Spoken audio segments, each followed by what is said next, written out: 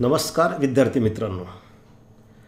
Super position of waves ह्या बारावी फिजिक्सच्या सहाव्या चॅप्टरमध्ये आज आपल्याला formation of longitudinal stationary waves in a pipe हा पार्ट बघायचा आहे. यापूर्वीच्या व्हिडिओमध्ये आपण स्टेशनरी वेव्ज म्हणजे काय असतं त्याच्या प्रॉपर्टीज बघितलेल्या आहेत. प्रोग्रेसिव्ह वेव्ज ज्या प्रकारे दोन प्रकारच्या आहेत. Transverse waves and longitudinal waves तशाच प्रकारे स्टेशनरी वेव्जमध्ये सुद्धा आपण दोन प्रकार करू शकतो. Transverse stationary waves and longitudinal stationary waves स्ट्रिंगमध्ये ज्या वेव्ज निर्माण होतात स्टेशनरी वेव्ज त्या ट्रान्सवर्स स्टेशनरी वेव्ज आहे. परंतु पाईपमध्ये ज्या स्टेशनरी वेव्ज निर्माण होतात त्या लॉन्जिट्युडनल स्टे स्टेशनरी वेव्ज असतात. आणि त्या कशा तयार होतात ते आज आपल्याला बघायचं आहे. आजचा व्हिडिओ सुरू करण्यापूर्वी विद्यार्थी मित्रांनो तुम्ही अजून चॅनल सबस्क्राईब केलं नसेल तर चॅनल सबस्क्राईब करा.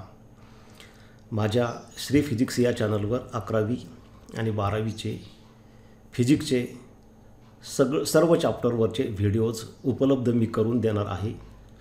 त्यापैकी बऱ्यापैकी व्हिडिओज मी अपलोड केलेले आहेत. माझ्या चॅनलच्या प्लेलिस्टला तुम्ही गेल्यानंतर प्रत्येक चॅप्टरची एक प्लेलिस्ट तुम्हाला दिसेल.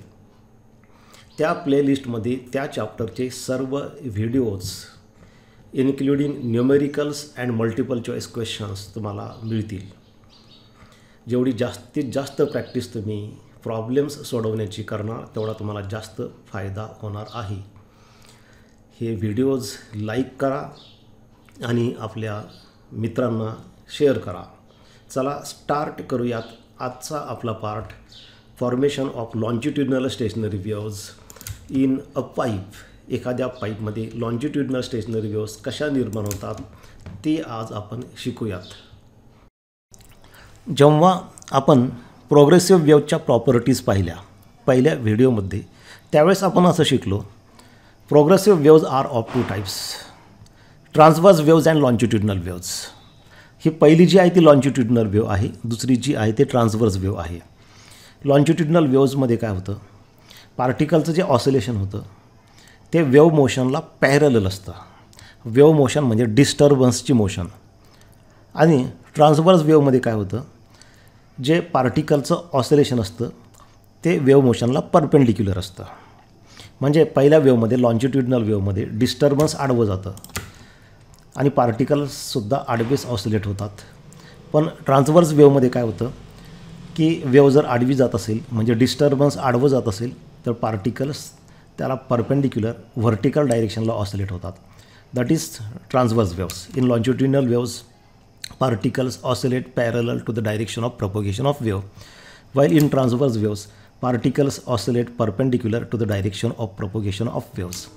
आणि स्टेशनरी वेव्समध्ये आपण असं शिकलो आहे की जेव्हा ह्या दोन प्रोग्रेसिव्ह वेव्ज एकाच मार्गावरून उलट दिशेला जातात तेव्हा त्याच्यातून स्टेशनरी वेव्ह तयार होते. म्हणजे पहा आता ही पहिली लॉन्जिट्युडनल वेव्ह आहे ती राईटला चालली. त्याच मार्गावरून तशीच लॉन्जिट्युडनल वेव्ह लेफ्टला आली तर त्याच्यातून स्टेशनरी वेव्ह तयार होईल. आणि ती असेल लॉन्जिट्युडनल स्टेशनरी वेव्ह ही दुसरी ट्रान्सवर्स वेव्ह आहे ती ज्या मार्गावरून चालली त्याच मार्गावरून त्याला opposite डायरेक्शनला exactly identical progressive wave transverse wave आली. तर त्या दोन ट्रान्सवर्स वेव्हच्या इंटरफिअरन्समधून स्टेशनरी ट्रान्सवर्स वेव्ह निर्माण होईल. म्हणजे जसे प्रोग्रेसिव्ह वेव्हचे दोन प्रकार आहेत ट्रान्सवर्स आणि लॉन्जिट्युडिनल स्टेशनरी वेव्हचे सुद्धा दोन प्रकार आहेत ट्रान्सवर्स आणि longitudinal so these are the two types of stationary waves first is the transverse stationary wave, second is longitudinal stationary wave. पहिली कशी तयार झाली? तर दोन ट्रान्सवर्स वेव्स एकाच मार्गावरून उलट दिशेला जातील. ट्रान्सवर्स प्रोग्रेसिव्ह वेव्स एकाच मार्गावरून उलट दिशेला जाईल तेव्हा त्यांच्या सुपर पोझिशनमधून ही प्रो ही स्टेशनरी वेव्ह तयार होते ट्रान्सवर्स स्टेशनरी वेव्ह. आणि दुसरी कशी तयार झाली? दोन exactly identical longitudinal progressive waves एकाच मार्गावरून परंतु उलट दिशेला जातील तेव्हा त्यांच्या सुपर पोझिशनमधून ही लॉन्जिट्युडनल स्टेशनरी वेव्ह तयार होईल. These are the two types of stationary waves आता ट्रान्सवर्स स्टेशनरी वेव्ह समजा स्ट्रिंगमध्ये करायची असेल तर तुम्ही दोन रिजिड सपोर्टमध्ये ती स्ट्रिंग फिक्स केली आणि एका ठिकाणी प्लग केली. तर तिथून त्या वेव्ज त्या रिजिड सपोर्टकडे जातात तिथून परत फिरतात आणि इन्सिडंट आणि रिफ्लेक्टेड वेवच्या इंटरफिअरन्समधून ही ट्रान्सवर स्टेशनरी वेव तयार होते. आता लॉन्जिट्युडनल स्टेशनरी वेव कशी तयार होते ते आजच्या व्हिडिओमध्ये आपल्याला बघायचं आहे. Formation of longitudinal stationary waves in a pipe हा एक पाईप आहे. फिगरमध्ये तुम्हाला दिसतो आहे जो एका बाजूला ओपन आहे दुसऱ्या बाजूला क्लोज आहे आणि त्याच्यामध्ये हे जे पार्टिकल्स दिसतात ते एअर पार्टिकल्स आहेत समजा. आणि आपल्याला माहिती आहे की साऊंड वेव्ज ह्या लॉन्जिट्युडनल वेव्ज आहेत. समजा वरून आपण साऊंड वेव्ज पाठवल्या खाली. ओपन एंडला साऊंड वेव्ज आ त्यांनी आतमध्ये प्रवेश केला तरी पार्टिकल्स ऑसोलेट होतील. आता वेव्ज व्हर्टिकली डाऊनवर्ड चाललेले आहेत. आणि साऊंड वेव्ह ही लॉन्जिट्युडनल असल्यामुळे ह्या पार्टिकलचं ऑसिलेशनसुद्धा त्या वेवला पॅरल म्हणजे व्हर्टिकली अप डाऊन होईल. ह्या वेव्ज खाली जातात आणि परत फिरतात.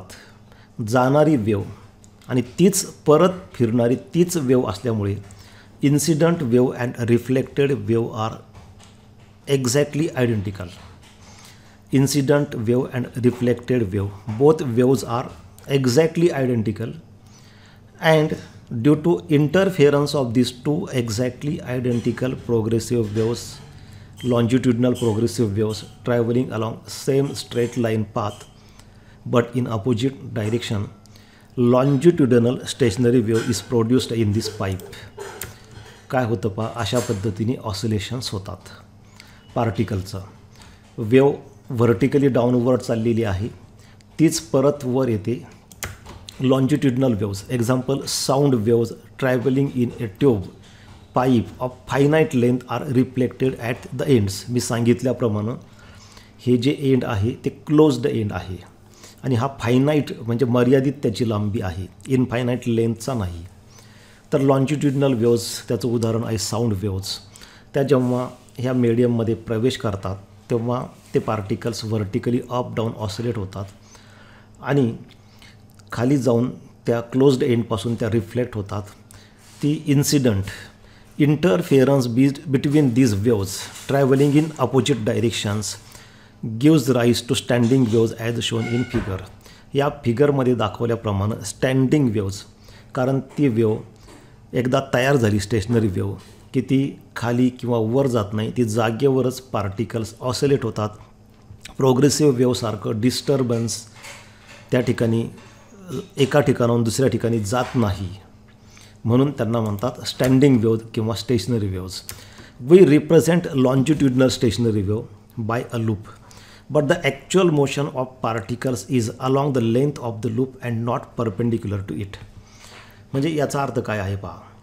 ही जी लॉन्जिट्युडनल स्टेशनरी वेव्ह तयार होते ती आपण समजा ग्राफिकली किंवा फिगरमध्ये दाखवायची म्हटली तर अशा पद्धतीने लूपने आपण दाखवते डॉटेड लाईन तुम्हाला. याचा अर्थ काय आहे? तर आपण पाहिलं आहे की स्टेशनरी वेव्जमध्ये नोड्स आणि अँटी नोट्स असतात. Antinodes are the particles which vibrate with maximum amplitude while nodes are the particles which do not vibrate or vibrate with minimum amplitude means zero amplitude nodes हे असे particles असतात मीडियमचे की ज्यांची amplitude of vibration minimum म्हणजे झिरोच असते जवळजवळ. आणि antinode म्हणजे असे पार्टिकल्स असतात की ज्यांची ॲम्प्लिट्यूड ऑफ व्हायब्रेशन मॅक्झिमम आहे. आता इथं काय होतं आहे तर हे जे ओपन एंडचे पाईप आहेत त्या ठिकाणी अँटी नोड तयार होतं आणि क्लोज्ड एंडला कंपल्सरी नोड तयार होतं. That is the boundary condition boundary condition is that at open end anti node is form while at closed end node is form अशी बाउंड्री कंडिशन आहे. असं का? इथं कंपल्सरी अँटी नोड का? Antinode म्हणजे असे पार्टिकल्स आहेत की ज्यांची ॲम्प्लिट्यूड ऑफ व्हायब्रेशन जी आहे ते मॅक्झिमम आहे. आणि ॲम्प्लिट्यूड ऑफ व्हायब्रेशन मॅक्झिमम म्हणजे त्या ठिकाणी मॅक्झिमम स्पेस पाहिजे व्हायब्रेशनला जागा पाहिजे. ओपन एंडला वरच्या बाजूला फ्री मीडियम आहे. आतल्या बाजूला जरी बाउंड मीडियम असलं तरी वरच्या बाजूला जागा असल्यामुळं त्या ठिकाणी व्हायब्रेशनला जागा आहे. पार्टिकल्स जेव्हा मेन पोझिशनच्या मागे आणि पुढे ऑसिलेट होतात तेव्हा ते दोन्ही बाजूला गेले पाहिजेत. आता समजा ही जी बाउंड्री दिसते आपल्याला वरचं फेस दिसते ओपन पाईपचं ती बाउंड्री आहे ती मेन पोझिशन आहे. तर त्या मेन पोझिशनच्या वरसुद्धा आणि खालीसुद्धा पार्टिकल ऑसिलेट झाले पाहिजे खालीवर गेले पाहिजे. आणि इथे वर ओपन एंड असल्यामुळे हे जे पार्टिकल्स आहेत बाउंड्रीचे ते वर पण जाऊ शकतात खाली पण जाऊ शकतात त्यांना. त्या ठिकाणी स्पेस आहे त्यांना व्हायब्रेशनला जागा आहे. मॅक्झिमम फ्रीडम ऑफ व्हायब्रेशन त्या ठिकाणी आहे. म्हणून या ठिकाणी पार्टिकलची ॲम्प्लिट्यूड ही मॅक्झिमम असते. पण जसं जसं खाली आपण जाऊ तसं त्या ठिकाणी त्यांना स्पेस कमी मिळतो व्हायब्रेशनला. आणि एकदम क्लोज्ड एंडला आपण गेलो तर बॉटमचे जे पार्टिकल्स आहेत त्यांना जर मेन पोझि ही त्यांची मेन पोझिशन आहे. त्या मेन पोझिशनच्या वर आणि खाली ऑसिलेट व्हायचं असेल तर मेन पोझिशनच्या वर जागा आहे परंतु परंतु खाली जाऊ शकत नाही. मेन पोझिशनच्या दोन्ही बाजूला पार्टिकल गेला तरच ऑसिलेशन होणार आहे. ह्या बॉटमच्या पार्टिकल्सला खाली जागा नाही. फक्त एका बाजूला वरच्या बाजूला जागा आहे. तसं चालणार नाही. म्हणून हे पार्टिकल्स ऑसिलेट होत नाही. म्हणजे त्यांची ॲम्प्लिट्यूड ऑफ व्हायब्रेशन झिरो आहे. म्हणजे नोड आहे. एका व्हिडिओमध्ये मी तुम्हाला सांगितलं होतं की झोका समजा एक मूल झोका खेळतं आहे तेव्हा ते मेन पोझिशनच्या मागे आणि पुढे दोन्ही बाजूला गेला तरच ऑसिलेशन्स होणार आहे. तुम्ही एकदम भिंतीला लागून भिंतीच्या शेजारी झोका बांधला आणि मग झोका खेळायला लाव लागलेत. तर भिंतीच्या पुढं झोका जाऊ शकतो पण भिंतीच्या बाजूला जाऊ शकत नाही तिकडे. त्यामुळं ऑसिलेशन होणारच नाही. तसंच या ठिकाणी घडतं आहे आणि त्यामुळे या ठिकाणी amplitude of vibration is zero. त्यामुळे या ठिकाणी नोड तयार होतं.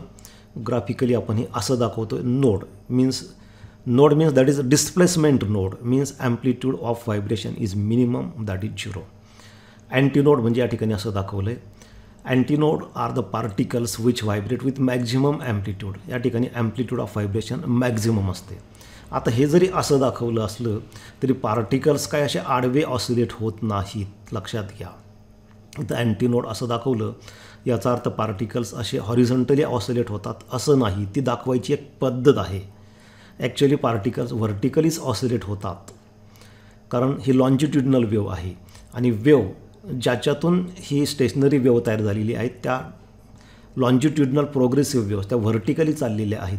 इन्सिडंट वेव डाऊनवर्ड चालली रिफ्लेक्टेड वेव अपवर्ड चालली. त्यामुळे त्याला पॅरल म्हणजे vertically up down particles oscillate होतात. असे आडवे ऑसिलेट होत नाही असा याचा अर्थ आहे. Formation of longitudinal stationary waves in a pipe हा एक पाईप आहे फिगरमध्ये तुम्हाला दिसतो आहे जो एका बाजूला ओपन आहे दुसऱ्या बाजूला क्लोज आहे. आणि त्याच्यामध्ये हे जे पार्टिकल्स दिसतात ते एअर पार्टिकल्स आहेत समजा. आणि आपल्याला माहिती आहे की साऊंड वेव्ज ह्या लॉन्जिट्युडनल वेव्ज आहेत. समजा वरून आपण साऊंड वेव्ज पाठवल्या खाली. ओपन एंडला साऊंड वेव्ज आ त्यांनी आतमध्ये प्रवेश केला. तरी पार्टिकल्स ऑसिलेट होतील. आता वेव्ज व्हर्टिकली डाऊनवर्ड चाललेले आहेत. आणि साऊंड वेव्ह ही लॉन्जिट्युडनल असल्यामुळे ह्या पार्टिकलचं ऑसिलेशनसुद्धा त्या वेवला पॅरल म्हणजे व्हर्टिकली अप डाऊन होईल. ह्या वेव्ज खाली जातात आणि परत फिरतात. जाणारी वेव आणि तीच परत फिरणारी तीच वेव असल्यामुळे incident wave and reflected wave are exactly identical incident wave and reflected wave. Both waves are exactly identical and due to interference of these two exactly identical progressive waves longitudinal progressive waves traveling along same straight line path but in opposite direction longitudinal stationary wave is produced in this pipe काय होतं पहा अशा पद्धतीने oscillations होतात पार्टिकलचं wave vertically downward चाललेली आहे. तीच परत वर येते. Longitudinal waves example sound waves travelling in a tube pipe of finite length are reflected at the ends मी सांगितल्याप्रमाणे हे जे एंड आहे ते क्लोज्ड एंड आहे. आणि हा फायनाईट म्हणजे मर्यादित त्याची लांबी आहे. इनफायनाईट लेंथचा नाही. तर लॉन्जिट्युडनल वेव्ज त्याचं उदाहरण आहे साऊंड वेव्ज त्या जेव्हा ह्या मीडियममध्ये प्रवेश करतात तेव्हा ते particles vertically up down oscillate होतात. आणि खाली जाऊन त्या क्लोज्ड एंडपासून त्या रिफ्लेक्ट होतात. ती incident interference be between these waves travelling in opposite directions gives rise to standing waves as shown in figure या फिगरमध्ये दाखवल्याप्रमाणे स्टँडिंग वेव्ज कारण ती वेव एकदा तयार झाली स्टेशनरी वेव की ती खाली किंवा वर जात नाही ती जागेवरच पार्टिकल्स ऑसिलेट होतात. प्रोग्रेसिव्ह वेवसारखं डिस्टर्बन्स त्या ठिकाणी एका ठिकाणाहून दुसऱ्या ठिकाणी जात नाही. म्हणून त्यांना म्हणतात स्टँडिंग वेव्ज किंवा stationary waves formation of longitudinal stationary waves in a pipe हा एक पाईप आहे फिगरमध्ये तुम्हाला दिसतो आहे जो एका बाजूला ओपन आहे दुसऱ्या बाजूला क्लोज आहे. आणि त्याच्यामध्ये हे जे पार्टिकल्स दिसतात ते एअर पार्टिकल्स आहेत समजा. आणि आपल्याला माहिती आहे की साऊंड वेव्ज ह्या लॉन्जिट्युडनल वेव्ज आहेत. समजा वरून आपण साऊंड वेव्ज पाठवल्या खाली. ओपन एंडला साऊंड वेव्ज आ त्यांनी आतमध्ये प्रवेश केला तरी पार्टिकल्स ऑसिलेट होतील. आता वेव्ज व्हर्टिकली डाऊनवर्ड चाललेले आहेत. आणि साऊंड वेव्ह ही लॉन्जिट्युडनल असल्यामुळे ह्या पार्टिकलचं ऑसिलेशनसुद्धा त्या वेवला पॅरल म्हणजे व्हर्टिकली अप डाऊन होईल. ह्या वेव्ज खाली जातात आणि परत फिरतात. जाणारी वेव आणि तीच परत फिरणारी तीच वेव असल्यामुळे incident wave and reflected wave are exactly identical incident wave and reflected wave both waves are exactly identical and due to interference of these two exactly identical progressive waves longitudinal progressive waves traveling along same straight line path but in opposite direction longitudinal stationary wave is produced in this pipe काय होतं पहा अशा पद्धतीने oscillations होतात पार्टिकलचं wave vertically downward चाललेली आहे तीच परत वर येते longitudinal waves example sound waves travelling in a tube pipe of finite length are reflected at the ends मी सांगितल्याप्रमाणे हे जे एंड आहे ते क्लोज्ड एंड आहे. आणि हा फायनाईट म्हणजे मर्यादित त्याची लांबी आहे. इनफायनाईट लेंथचा नाही. तर लॉन्जिट्युडनल वेव्ज त्याचं उदाहरण आहे साऊंड वेव्ज त्या जेव्हा ह्या मीडियममध्ये प्रवेश करतात तेव्हा ते particles vertically up down oscillate होतात. आणि खाली जाऊन त्या क्लोज्ड एंडपासून त्या रिफ्लेक्ट होतात. ती incident interference be between these waves travelling in opposite directions gives rise to standing waves as shown in figure या फिगरमध्ये दाखवल्याप्रमाणे स्टँडिंग वेव्ज कारण ती वेव एकदा तयार झाली स्टेशनरी वेव की ती खाली किंवा वर जात नाही ती जागेवरच पार्टिकल्स ऑसोलेट होतात. प्रोग्रेसिव्ह वेवसारखं डिस्टर्बन्स त्या ठिकाणी एका ठिकाणाहून दुसऱ्या ठिकाणी जात नाही.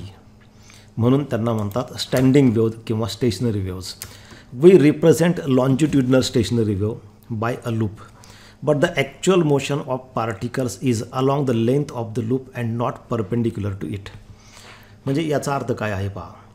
ही जी लॉन्जिट्युडनल स्टेशनरी वेव्ह तयार होते ती आपण समजा ग्राफिकली किंवा फिगरमध्ये दाखवायची म्हटली तर अशा पद्धतीने लूपने आपण दाखवते डॉटेड लाईन तुम्हाला.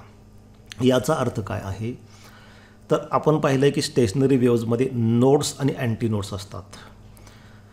Antinodes are the particles which vibrate with maximum amplitude while nodes are the particles which do not vibrate or vibrate with minimum amplitude means zero amplitude nodes हे असे पार्टिकल्स असतात मीडियमचे की ज्यांची ॲम्प्लिट्यूड ऑफ व्हायब्रेशन मिनिमम म्हणजे झिरोच असते जवळजवळ. आणि antinode म्हणजे असे पार्टिकल्स असतात की ज्यांची ॲम्प्लिट्यूड ऑफ व्हायब्रेशन मॅक्झिमम आहे. आता इथं काय होतं आहे जेव्हा मिडियमचे particles S H M perform करतात तेव्हा ते मेन पोझिशनच्या दोन्ही बाजूला जातात. दोन्ही बाजूला गेले पाहिजे. आता इथे particles vertically up down oscillate होतात. म्हणजे आता हे टॉपचे पार्टिकल्स समजा हे बाउंड्रीचे पार्टिकल्स आहेत ती त्यांची मेन पोझिशन झाली. तर त्या मेन पोझिशनच्या वरही गेले पाहिजे आणि खालीही गेले पाहिजे. तरच त्याला एस एच एम म्हणता येईल. म्हणजे आता या ठिकाणी बॉट इथं कसं आहे वरच्या बाजूला ओपन स्पेस आहे. मॅक्झिमम फ्रीडम आहे व्हायब्रेशनसाठी so these particles at open end have maximum freedom of vibration and therefore this particles vibrate with maximum amplitude पण क्लोज द एंडचे हे जे बॉटमचे पार्टिकल्स आहेत त्यांना एस एच एम परफॉर्म करायचं म्हटलं तर त्यांना मीन पोझिशनच्या म्हणजे ही बॉटमची लाईन म्हणजे मीन पोझिशन आहे त्यांच्यासाठी. त्याच्या वरही गेले पाहिजे आणि खालीही गेले पाहिजे. खाली तर क्लोज्ड एंड आहे खाली जाऊ शकत नाही म्हणजे ते एस एच एम परफॉर्म करू शकत नाही. अशा पद्धतीने बघा. ज्या पद्धतीने आता समजा एखादं मूल झोका खेळत असेल तर ती सिंपल हार्मोनिक मोशन आहे ऑसिलेटरी मोशन आहे. तो झोका ते मूल झोका खेळताना त्या मेन पोझिशनच्या पुढेही गेला पाहिजे आणि मागेही गेला पाहिजे. तरच ती एस एच एम होईल. एखादा झोका भिंतीच्या शेजारी बांधला तर भिंतीच्या पुढे झोका जाण्यासाठी जागा आहे परंतु मागच्या बाजूला भिंत असेल तर तो ते मूल झोका खेळू शकणार नाही एस एच एम होणार नाही. तसंच या ठिकाणी घडतं आहे की ओपन एंडला पार्टिकल्सला व्हायब्रेशनला जागा असल्यामुळं ते मेन पोझिशनच्या वर आणि खाली जाऊ शकतात. आणि मॅक्झिमम व्हायब्रेशन त्यांचं होतं. म्हणून त्या ठिकाणी व्हायब्रेशनची ॲम्प्लिट्यूड मॅक्झिमम असते आणि म्हणून त्या ठिकाणी अँटी नोड्स तयार होतात. Antinodes are the particles which vibrate with maximum amplitude. While at close the end there is no freedom for vibration on one side and therefore particles can not vibrate at all particles vibrate होऊ शकत नाही आणि म्हणून node तयार होतं. आता ह्या फिगरमध्ये असं दाखवलं आहे लक्षात घ्या. की अँटीनोड असं जरी दाखवलं असलं तरी याचा अर्थ पार्टिकल्स आडवे ऑसिलेट होतात असं नाही. तर ते दाखवण्याची एक पद्धत आहे. ग्राफिकली रिप्रेझेंट करण्याची ती एक पद्धत आहे. इथं अँटीनोड असं दाखवलं असलं तरी पार्टिकलचं व्हायब्रेशन हे व्हर्टिकलीच चालू आहे कारण ही लॉन्जिट्युडनल स्टेशनरी वेव आहे आणि याच्यामध्ये लॉन्जिट्युडनल प्रोग्रेसिव्ह वेवच्या इंटरफिअरन्समधून ते तयार झालेले आहेत. आणि त्या ज्या लॉन्जिट्युडनल प्रोग्रेसिव्ह वेव्ज होतात इंटरफेअरिंग वेव्ज त्या व्हर्टिकली अप आणि डाऊन चाललेल्या आहेत म्हणून त्याला पॅरलल हे व्हायब्रेशन अशा पद्धतीने आहे. ही फक्त दाखवायची पद्धत आहे. ओपन एंडच्या पार्टिकलला मॅक्झिमम स्पेस मिळते व्हायब्रेशनसाठी आणि जसं जसं आपण खाली जाणार बॉटमकडे तसं त्यांची स्पेस कमी होत जाते त्यांना जागा कमी मिळते आणि त्यामुळे त्यांची ॲम्प्लिट्यूड कमी कमी होत जाते. आणि एकदम बॉटमला आपण जेव्हा जाऊ तेव्हा त्यांना ऑसिलेशनसाठी एस एच एमसाठी पूर्ण जागा मिळत नाही दुसऱ्या बाजूला. क्लोज्ड एंड असल्यामुळं. त्यामुळे बघा तुम्ही हे जे ओपन एंडचे पार्टिकल्स आहेत ते वर किंवा खाली जाताना मेन पोजि पोझिशनपासून त्यांचं डिस्प्लेसमेंट हे मॅक्झिमम होतं. आणि जसं जसं आपण खाली जाऊ त्यांचं एस एच एम होतं पण त्यांची ॲम्प्लिट्यूड कमी आहे. मेन पोझिशनपासूनचं त्यांचं डिस्प्लेसमेंट कमी आहे. आणि एकदम बॉटमच्या पार्टिकलला त्यांची ॲम्प्लिट्यूड झिरो आहे. म्हणून क्लोज्ड एंडला नोड तयार झालेला आहे आणि ओपन एंडला अँटीनोड तयार झालेला आहे. आता एखादा पाईप दोन्ही बाजूला ओपन असेल तर त्यामध्ये स्टेशनरी वेव्स तयार होतील का? तर त्यामध्ये सुद्धा स्टेशनरी वेव्स तयार करता येतील. समजा वरून एक लॉन्जिट्युडनल वेव आली आणि अगदी सेम तशीच लॉन्जिट्युडनल वेव खालून आपण वर पाठवली. तर त्या दोन वेव्ज इंटरफिअर करतील आणि त्याच्यातून स्टेशनरी वेव तयार होईल. आतमध्ये जे असतं ते बाउंडेड मिडियम असतं आणि बाहेर जे असतं ते फ्री मीडियम असतं. अगदी दोन्ही बाजूला वेव्ज नसल्या तरी समजा एकच वेव वरून आपण पाठवली आणि ती वेव जेव्हा ह्या ओपन एंडमधून दुसऱ्या बाजूला बाहेर पडण्याचा प्रयत्न करते तेव्हा ती बाउंडेड मीडियममधून फ्री मीडियममध्ये जाताना त्याच्यातला काही भाग रिफ्लेक्ट होतो. आणि ती इन्सिडंट आणि रिफ्लेक्टेड वेवच्या इंटरफिअरन्समधून स्टेशनरी वेव तयार होते. आता मगाशी आपण पाहिले की ओपन एंडला मॅक्झिमम स्पेस मिळतो पार्टिकल्सला एस एच एम परफॉर्म करण्यासाठी.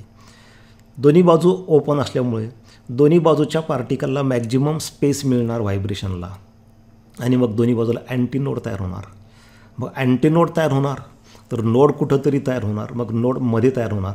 कारण मध्ये कमी स्पेस मिळतो एस एच एमसाठी जागा कमी मिळते. ह्या दोन ओपन एंडच्या तुलनेमध्ये आणि त्यामुळे नोडमध्ये तयार होतं अशा पद्धतीने बघा आता. तुम्ही इथं जर नीट ऑब्झर्व केलं तर तुमच्या लक्षात येईल की मध्ये ही जी पार्टिकलची लाईन दिसते ही ती बिलकुल ऑसिलेट होत नाही आहे ती एस एच एम परफॉर्म करत नाही. ती जागेवरच आहे. कारण त्या ठिकाणी त्यांना व्हायब्रेशनला स्पेस नाही.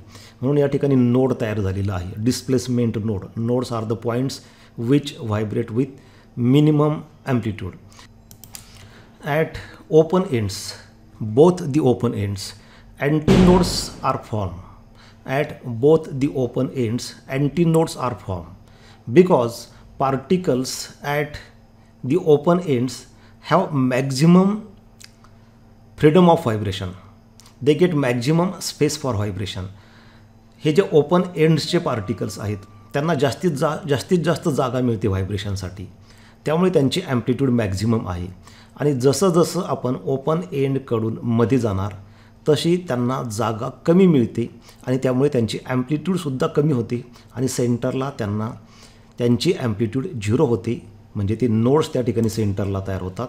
आणि परत आपण ह्या सेंटरकडून ह्या ओपन एंडकडे जाऊ तशी परत त्यांची ॲम्प्लिट्यूड वाढत जाते. कारण त्यांना परत जास्त जागा मिळते. So antinodes are are at at the open open ends and node is form at closed end it can be represented like this दुसऱ्या फिगरमध्ये दाखवल्या प्रमाणात दाखवता येईल. दोन्ही ओपन एंडला अँटीनोड तयार झालेलं आहे आणि मध्ये नोड तयार झालेलं आहे. ट्रान्सवर स्टेशनरी वेवमध्ये आणि लॉन्जिट्युडनल स्टेशनरी वेवमध्ये एक महत्त्वाचा फरक आहे. ही लॉन्जिट्युडनल स्टेशनरी वेव आहे. यामध्ये ह्या पाईपमध्ये काय केलं आहे एक लॉन्जिट्युडनल प्रोग्रेसिव्ह वेव राईटला चालली. त्याच पाईपमध्ये एक longitudinal progressive wave exactly identical लेफ्टला चालली. त्याच्यामधून ही स्टेशनरी वेव तयार झालेली आहे. त्यामध्ये काय होतं? काही पार्टिकल्स बिलकुल ऑसिलेट होत नाही. बघा या ठिकाणी एक रेड कलरचा पार्टिकल दिसतो. तो जागेवरच आहे. तो लेफ्ट राईट ऑसिलेट होत नाही. म्हणजे त्या ठिकाणी डिस्प्लेसमेंट नोड तयार झालेला आहे. त्याच्या उलट या ठिकाणी अजून एक रेड कलरचा पार्टिकल आहे. तो मात्र लेफ्ट आणि राईटला मॅक्झिमम ॲम्प्लिट्यूडनी ऑसिलेट होतो. म्हणजे त्या ठिकाणी अँटी नोड तयार झालेला आहे. तर इथं हा जो रेड कलरचा पार्टिकल आहे या ठिकाणी इथं डिस्प्लेसमेंट व्हेरिएशन होत नाही डिस्प्लेसमेंट बदलत नाही म्हणून त्याला म्हणतो आपण डिस्प्लेसमेंट नोड परंतु त्या ठिकाणचं प्रेशर खूप मोठ्या प्रमाणावर बदलतं म्हणून त्याला म्हणतो प्रेशर अँटीनोड तर हे ग्राफमध्ये दाखवलं आहे पहिल्या ग्राफमध्ये काय? या ठिकाणी बिलकुल डिस्प्लेसमेंट बदलत नाही. म्हणजे त्याला म्हणतात डिस्प्लेसमेंट नोड परंतु प्रेशरचा विचार केला आपण तर या ठिकाणी काय होतं? आता पहा. जेव्हा दोन्ही बाजूनी पार्टिकल्स त्या रेड पार्टिकलवरती दोन्ही बाजूला येतात तेव्हा त्या ठिकाणी पार्टिकलची गर्दी होते आणि प्रेशर वाढतं. बघा या दुसऱ्या करोबमध्ये दाखवलं. आहे या ठिकाणी असं हे मॅक्झिमा आलेलं आहे. म्हणजे या ठिकाणी प्रेशर मॅक्झिमम झालेलं आहे. आता जेव्हा हे पार्टिकल्स दूर जातात बघा अशा पद्धतीने. रेड कलरच्या पार्टिकलपासून दोन्ही बाजूचे पार्टिकल्स दूर गेले आणि त्या ठिकाणी स्पेस जो आहे त्याच्यामध्ये पार्टिकलची गर्दी कमी झाली आहे. त्याच्यामुळं ह्या रेड कलरच्या पार्टिकलवर कमी दाब आहे कमी प्रेशर आहे. म्हणून या ठिकाणी प्रेशर आता मिनिमम झालेलं आहे पहा या ठिकाणी. तर अशा पद्धतीने ह्या सेकंड ग्राफमध्ये दाखवल्याप्रमाणे त्या पार्टिकलला प्रेशर हे मॅक्झिमम टू मिनिमम असं बदलत राहतं. There is a maximum variation of pressure प्रेशरमध्ये बदल खूप मोठ्या प्रमाणावर होतो. म्हणून त्याला प्रेशर अँटीनोड म्हणतात. परंतु डिस्प्लेसमेंट बदलतच नाही म्हणून त्याला प्रेशर नोड म्हणतात. याच्या उलट हा जो दुसरा रेड कलरचा पार्टिकल आहे ज्याच्या डिस्प्लेसमेंटमध्ये मॅक्झिमम व्हेरिएशन होतं ॲम्प्लिट्यूड ऑफ व्हायब्रेशन मॅक्झिमम आहे म्हणून त्याला डिस्प्लेसमेंट अँटीनोड म्हणतात. बघा डिस्प्लेसमेंट मॅक्झिमम कमी जास्त होतं मॅक्झिमम व्हेरिएशन होतं डिस्प्लेसमेंटमध्ये परंतु तिथलं प्रेशर बिलकुल बदलत नाही कारण त्या ठिकाणी गर्दी जास्त होणं किंवा कमी होणं हा प्रकार घडत नाही. म्हणून त्या ठिकाणी हे जे प्रेशर दाखवलेलं आहे हे प्रेशर बदलत नाही. त्यांना म्हणतात प्रेशर नोड्स म्हणून लॉन्जिट्युडनल स्टेशनरी वेव्जमध्ये काय असतं? जे डिस्प्लेसमेंट नोड्स असतात ते प्रेशर अँटी नोड्स असतात. आणि जे डिस्प्लेसमेंट अँटी नोड्स असतात ते प्रेशर नोड्स असतात. थोडक्यात काय? तर एखाद्या मीडियममध्ये जेव्हा लॉन्जिट्युडनल स्टेशनरी वेव्ह तयार होते तेव्हा त्या मीडियममध्ये डिस्प्लेसमेंटमध्ये आणि प्रेशर दोन्हीमध्ये बदल होत असतात. पार्टिकल्स जेव्हा एस एच एम परफॉर्म करतात तेव्हा त्यांचं मेन पोझिशनपासूनचं डिस्प्लेसमेंट हे बदलत असतं आणि ते वेगवेगळ्या जागेवर वेगवेगळं असतं. हे जे व्हेरिएशन असतं variation of displacement at different positions is represented graphically by this second figure while variation of pressure at different places in the medium is represented by this third graph is represented graphically by this third figure म्हणजे डिस्प्लेसमेंटमध्ये होणारे बदल. हे दुसऱ्या फिगरनी graphically दाखवलेले आहे.